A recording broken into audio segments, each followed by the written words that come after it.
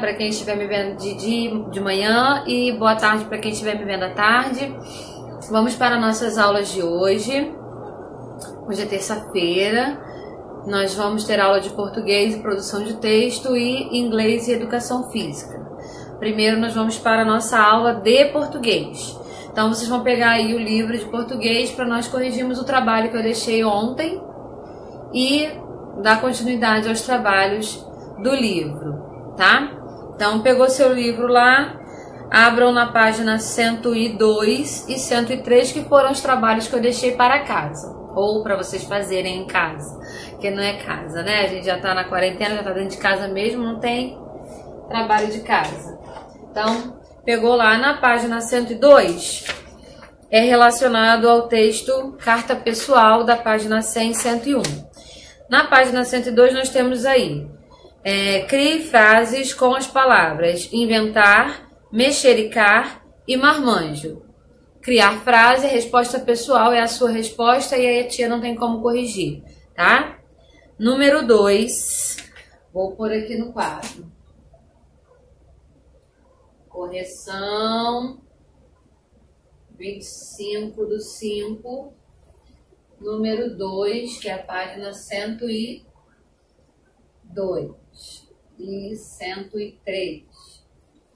Tá. Então, no número 2, numere corretamente. Aí tem mexericar, marmanjo e inventar novamente. Do outro lado, nós temos os quadradinhos para colocarmos a sequência dos números corretamente. Então, vai ficar marmanjo, um rapaz robusto. Criar é inventar e fofocar é mexericar. Então vai ficar 2, 3, 1. No número 3, vocês têm que fazer a cruzadinha aí ou procurar no diagrama, encontrar palavras aí. As palavras são essas que estão ao lado aí: fofocar, cochichar, criar e marmanjo. Eu não tenho como fazer aqui porque eu não tenho as palavras, mas é, não tenho as letras aqui para você para poder procurar as palavras. Mas vai estar marmanjo lá em cima, na horizontal, fofocar na vertical, criar na vertical e cochichar na horizontal, tá? Número 3, ou número na página 103, perdão página 103, número 1. Que aí agora, como é outra página, já é outro número, né? Vou colocar aqui nesse cantinho, sim, tá? Página 103, número 1. Bom? Essa é 102, essa vai ser 103. O texto é um anúncio de jornal, uma redação ou uma carta carta. A gente já sabe que é que é uma carta, marcamos ali, tá? Número 2. Vou apagar para a gente poder fazer o número 2 para eu desenhar o envelope certinho para colocar corretamente. Bom, vamos lá. Então, no número 2, identifique no texto o remetente, quem escreve, e o destinatário, quem recebe a carta. Quem é o remetente? Quem está enviando a carta é a Marisa, né? Que é a menina lá da história. E quem é o destinatário? Quem vai receber essa carta? A Ângela, que é a prima dela, tá bom? Então, é o remetente e o destinatário da carta são elas duas. Número 3. Por que Marisa está triste? Ela está triste porque a sua priminha foi embora. Então, aqui, ó, número 3. Ela está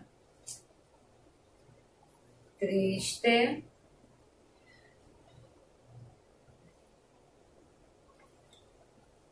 porque, porque de resposta é junto,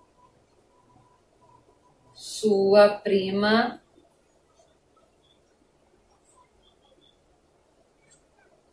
foi embora. Então, a número 3 é essa daí, tá? Ela está triste porque sua prima foi embora. Vou apagar para fazer a número 4 e aí a gente já retorna. A número 4 diz assim: Quanto tempo Marisa terá que esperar para brincar novamente com Ângela? Aí tem as opções para marcar um X aí. E a resposta certa para essa questão é até as próximas férias, a última alternativa lá embaixo. Bom? Aí agora, a página 104, nós não fizemos, vai ser o trabalho da próxima aula, e aí eu só vou corrigir na outra. Eu deixei para vocês também substantivos compostos e substantivos simples, e deixei a página 106 para vocês resolverem. Na página 106, nós temos um texto e um exercício embaixo. Eu deixei só essa porque vocês vão ter que ler o texto e identificar aí, né, o, as palavras que são substantivos simples e os compostos. Eu vou ler o texto e depois vou é, fazer a correção ali. O texto diz assim: Passaredo, de Chico Buarque e Francis Rime. Ei, quero, quero. Oi, Tico Tico. Anum, Pardal, Chapim. Chocotovia. Show ave fria, show pescador Martim, some rolinha, anda andorinha, te esconde bem te vi, voa bicudo, voa sanhaço, vai juriti, bico calado, muito cuidado, que o homem vem aí, o homem vem aí, o homem vem aí. Então, embaixo tem os nomes dos autores desse texto, que eu já li que estava lá em cima, Chico Buarque, e Francis Rime. Então a gente entendeu aí que nesse texto tem várias palavras que são nomes de aves, tá? Só que algumas dessas aves o nome é composto e outras o nome é simples. Então nós vamos separar aí quem é substantivo simples e quem é substantivo composto, tá?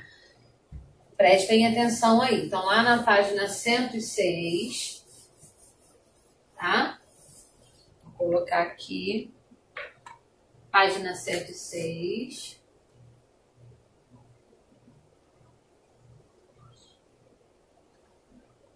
O número 1, um, nós vamos separar.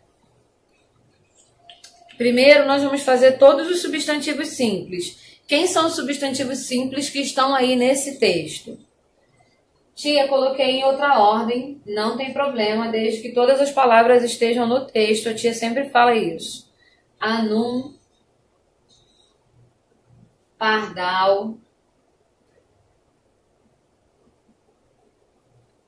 chapim ou chapim, eu não sei, cotovia,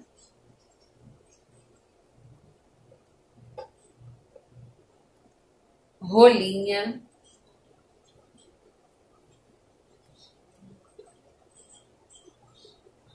Juriti,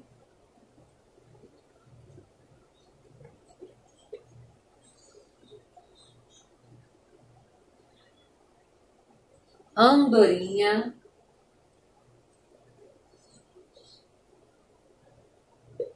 Andorinha, Bicudo,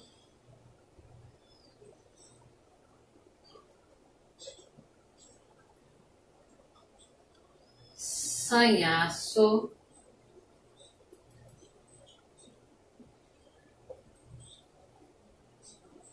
bico e homem. Tá? Essas são as palavras que tem que são substantivos simples que estão no nosso texto. Agora os substantivos compostos nós temos aí quero, quero, lembrando que o substantivo composto ele pode ser separado por hífen ou ele pode estar junto sem separação de por hífen, tá? Nesse aí todos têm separação por hífen. Tico tico. Ave fria.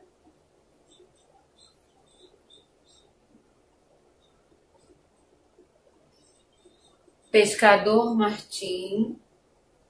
Pescador.